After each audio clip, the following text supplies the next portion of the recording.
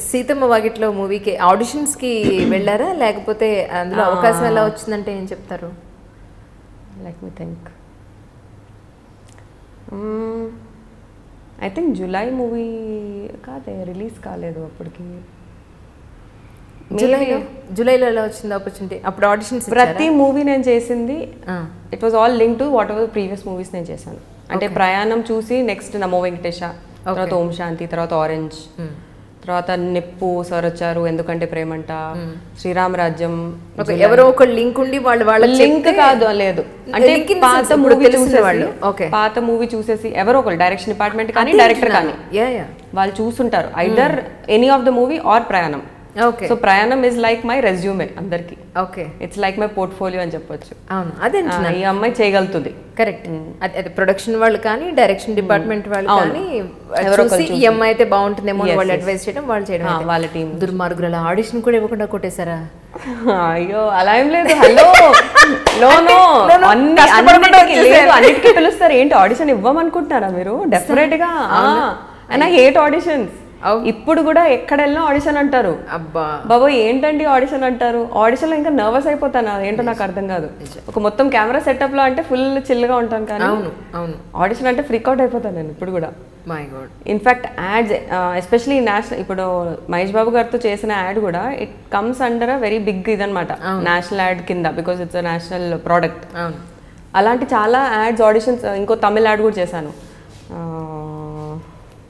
Ramraj textiles లుంగిది చాలా famous Venkatesh గారు. చాలా ఫేమస్ కానీ అది తమిళ్ళో చేశాను. ఓకే. సో దానికి కూడా ఆడిషన్ సెంథిల్ గారు కెమెరామ్యాన్ అనమాట ఓహో. దానికి కూడా auditions compulsory auditions is a must అది కూడా లుక్ టెస్ట్ మళ్ళీ నా హైట్ ఎంత నేను ఇది ఇది ఏజ్ అవన్నీ అన్ని చెప్పుకోవాలి. ఖచ్చితంగా. You are you are never out of that నేనేమనుకున్నాను చెప్పరా నిజంగా? ప్రయాణం చూసి ఈ అమ్మాయికి ఇలా ఇలా ఇలా ఇలా ఆఫర్ వచ్చే దుర్మార్గురాలు అసలు ఇక్కడ ఆడిషన్ కూడా ఇచ్చిండే పాపం అంత పూల దారి అయిపోయింది అనుకో ఇప్పుడు మనం ఇద్దరం కలిసి ఒక మూవీ చేసాం తెలుసు కదా? తెలుసు చూసా ఆ మూవీలో కూడా నేను ఆడిషన్ ఇచ్చాను. ఓకే ఆడిషన్ లుక్ టెస్ట్ అన్నీ అన్ని మూవీస్లో ఇట్స్ కంపల్షన్ చెప్పాలంటే. ఇన్ సీ సీతమ్మ వాకిట్లో ఎలా వచ్చింది అంటున్నారంటే ఆడిషన్ పిలిచారు ఆడిషన్ తీసుకున్నారు కానీ నేను చేయనని చెప్పాను అప్పుడు. అప్పుడు ఎందుకంటే that's when I decided I don't want to do as sisters as friends I want concentrate as main leads break చేద్దాం అని చెప్పి నేను పాస్ అప్పటికి నాకు రియలైజేషన్ వచ్చింది. నాకు నెక్స్ట్ లెవెల్కి వెళ్ళాలని ఉందని.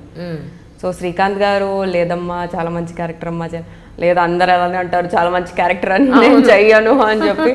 మీరు నాకు నరేషన్ ఇవ్వండి నాకు తెలియాలి ఎంత మంచి క్యారెక్టర్ అని చెప్తే. నేను వెంకటేష్ గారికి ఇంకా మహేష్ బాబు గారికి ఇప్పటివరకు ఇచ్చానమ్మా నరేషన్ ఇంకెవరికి ఇవ్వలేదు అంటే నాకు సంబంధం లేదు సార్. మీరు నాకు చెప్పాల్సిందే.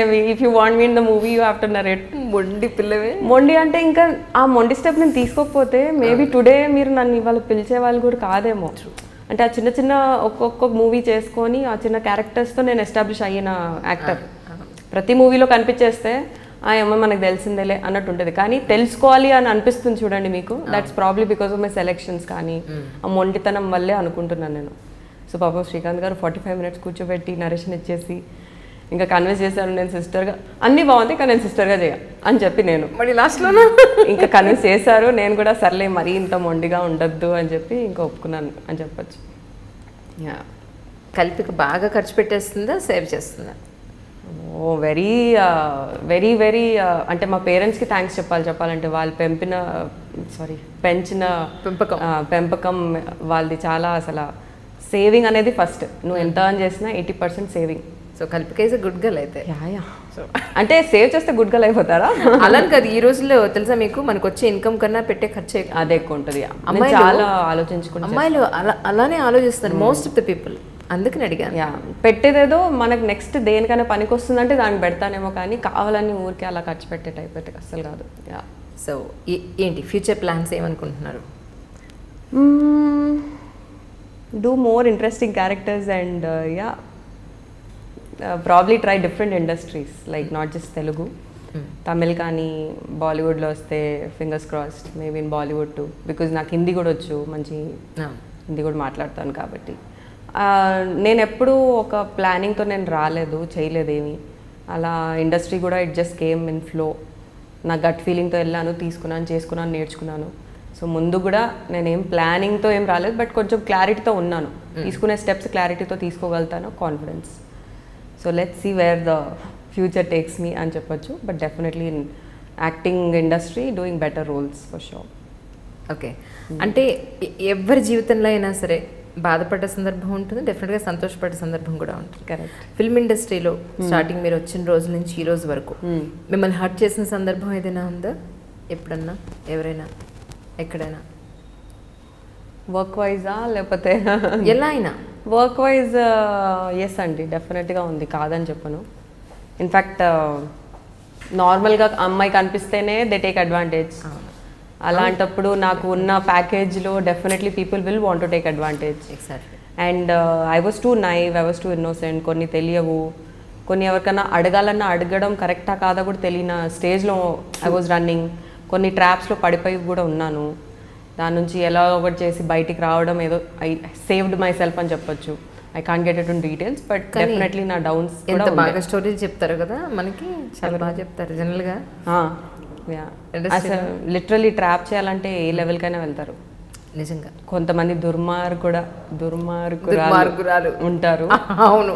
దుర్మార్గుడే కాదు దుర్మార్గురాలు కూడా ఉంటారు yeah yeah true bunch bunch but I'm very happy ఇప్పుడు వచ్చే డైరెక్టర్స్ కానీ మేకర్స్ కానీ దే ఆర్ ఆల్ వెల్ అంటే ఇట్స్ నాట్ జస్ట్ ఎడ్యుకేషన్ అండి. డెఫినెట్లీ పెంపకం అని చెప్తాను. ఎనీ డే మీరు ఎంత ఎడ్యుకేటెడ్ ఉన్నా educated people also behave you know the way they want వాళ్ళ మైండ్ సెట్లో ఎలా ఉంటే అలా. బట్ పెంపకం మ్యాటర్స్ లాట్ అని నా ఫీలింగ్ హౌ మచ్ నేను ఎందుకు అడిగానంటే నా ఓన్ ఎక్స్పీరియన్స్ ఉంటుంది. అది షేర్ విత్ యూ ఏంటంటే ఒక మూవీకి ఒక పెద్ద మూవీకి పెద్ద మూవీ అన్నానంటే దాన్ని బట్టి మీరు అర్థం చేసుకోండి. అంటే budget wise hero wise director wise ఇటు చూసుకున్న పెద్ద మూవీ ఓకే నేనే చిన్నదాన్ని టు బి ఫ్రాంక్ ఎలా చూసుకున్నా. సెలెక్ట్ చేశారు. డైరెక్టర్కి నచ్చాను ఆ చుట్టుపక్కల అందరికి నచ్చాను. కానీ నన్ను మనకు రోజు ఫోన్ చేస్తారు ఈ టైంకి ఇది ఉందండి మేనేజర్స్ ఫోన్ చేస్తారు కదా వాళ్ళకి నచ్చలేదు నేను. ఎందుకు? నా ఎందుకు నచ్చలేదో తెలియదు మనకు తెలుసు? ఏ- టైంకి షూట్ ఉందో నాకు చెప్పలేదు. సో నేను ఏ టైంకి వెళ్ళాలి? సార్ నాకు థర్డ్ పర్సన్ ఎవరో ఫోన్ చేశారు. అంజలి గారు ఈ ఈ రోజు ఈ సీన్లో మీరున్నారు మీరు రావాలి. సార్ నాకు మేనేజర్ ఫోన్ చేయలేదండి. సరే మీరు వచ్చేయండి చేయకపోతే చేయపారు వెళ్ళాను. మంచినీళ్ళు ఇచ్చిన వాడు లేడు. టీ ఇచ్చిన వాడు లేడు కాఫీ ఇచ్చిన వాడు లేడు. భోజనం లేదు. బ్రేక్ఫాస్ట్ లేదు. నైట్ డిన్నర్ లేదు. ఏం లేదు. One day.